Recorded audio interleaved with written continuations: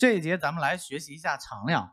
从咱们整个课程的设计上来讲呢，常量这一节其实是最简单的，但是我们可以给它加点难度啊。呃，所以加完难度以后呢，这个就比较有看头了。先说常量这事儿啊，可能大家也觉得很错愕啊，说这个东西我们常量好像都写了很很多次了吧？变量我们一直研究的很清楚很明白，常量这个还需要研究吗？是的，需要研究，因为我们之前对常量的了解呢，还是停在那个最表面的那个状态啊，就跟你。找了个女朋友，可能谈恋爱三年了，最后发现人家在人家是在缅甸搞电信诈骗的，这个不也常有的事儿吗？所以呢，我们就要把它搞得很清楚啊。C 语言是这样的一个语言，就是你要把所有的事情都搞清楚。哎，将来即使你不做 C 的工作，你做 Java 或者做 Go 或者做 Python，那么有 C 给你留下的这种对计算机的这种了解、这种基础，你学习其他语言一定是如履平地的啊。所以好好把它弄清楚啊，边边角角的。先思考第一个问题啊，那么这个。这段代码里面哪个是常量，哪个是变量？大家把它圈一下啊。首先，a 是不是变量啊？这个很简单，二百二百五十五，这个是常量，对不对？好，那接下来第二个问题来了，大家思考一下，哎，这个变量占用内存吗？把你们的答案打在我能看到的地方啊，公屏上、弹幕上，然后评论区都可以。好，那么它占不占用内存？然后大家先思考一下这个问题。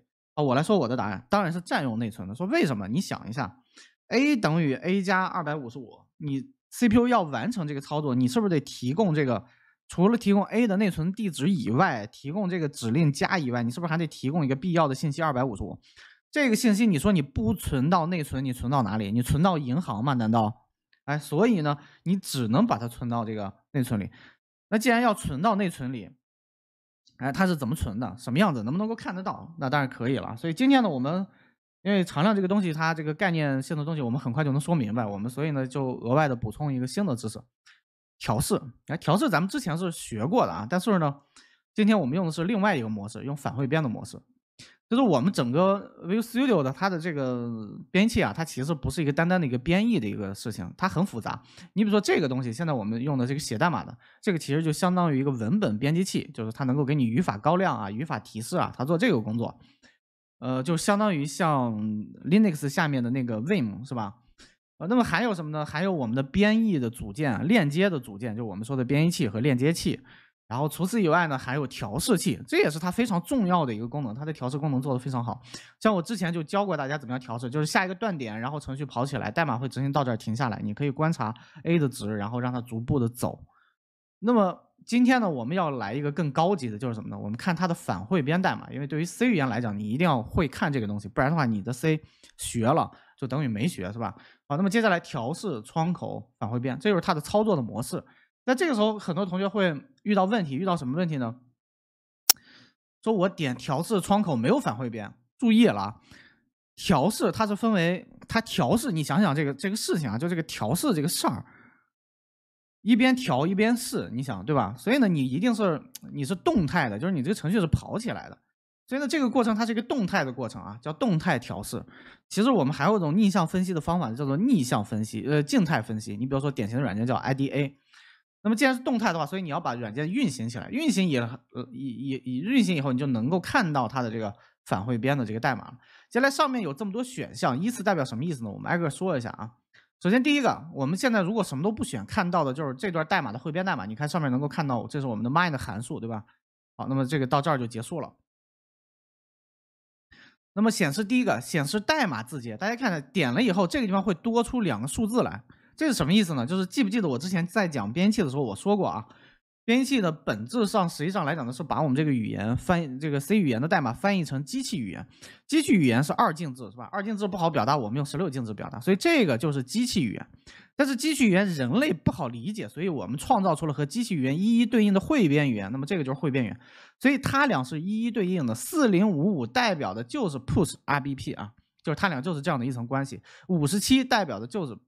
Push RDI 说这个是怎么来的？这个我们现在用不上。就是将来，假如说我们自己要做一个东西，就返回编引擎，我们能够把这个数字解析成这个，那这个时候我们到时候再研究它的转化规则。这个要去看英特尔或者 AMD 那个 CPU 里面的手册，它上面是详细的讲了这个事情的啊。这个最原始的、原始的内容。那么这个指令它是不是也是要放到内存里的，你才能够执行啊？好，那么所以它也有一个内存地址，你点下这个显示地址，这个就是内存地址。哎，说这个地址怎么这么长啊？是不是跟你们想的可能有点不一样啊？这因为我们现在编译的这个架构是在叉八六的架构下，叉八六的架构下，那么它当然就是内存地址就是，哎，六十四比特啊，六十四比特不就八个字节吗？八字节你算一下，是不是刚好相当于咱们一个弄弄的这种数据啊？只是用十六进十六进制来给它表达了，就这样。如果说你用的是叉八六，那么接下来我们再看一下，刚好看一下叉八六的这个区别啊。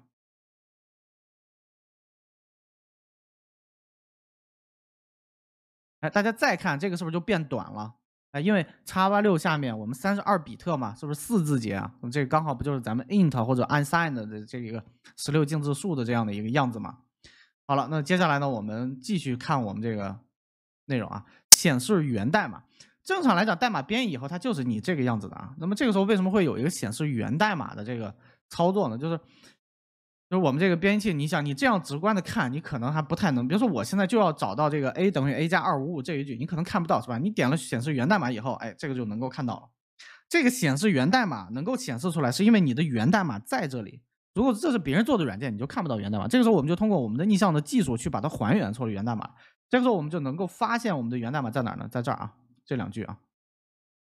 接着来显示符号名，你比如说 a 等于二百，那么 a 的本质不就是个内存地址吗？是我们给这个内存地址起了个名字叫 a，所以在这里你会发现找不到 a 的踪迹啊。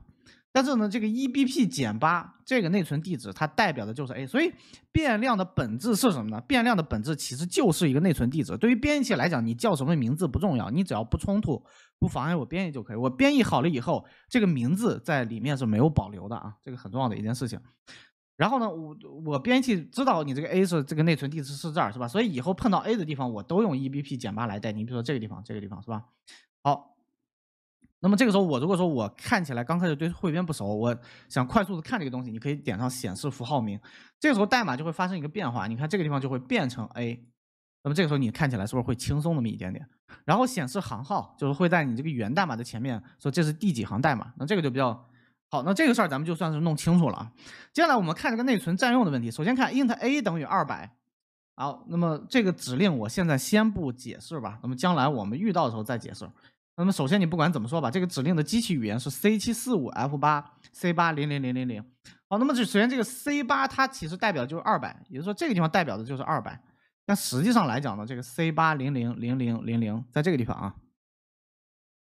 那这个时候就引出一个新的概念来，叫什么呢？叫大端数、小端数啊。实际上我们这个 C 八呢，它不是 C 八，它是零零零零零零 C 八。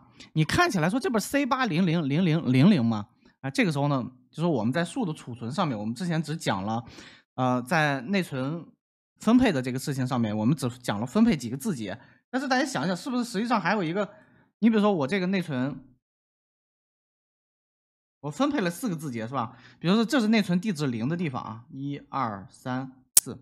那么比如说我保存一个，呃，就保存咱们这个二百吧，二百它是 C 八，如果是四字节 int 的数据类型，那么是不是这个时候呢就可以零零零零零零 C 八，或者说是什么呢？或者说是反过来，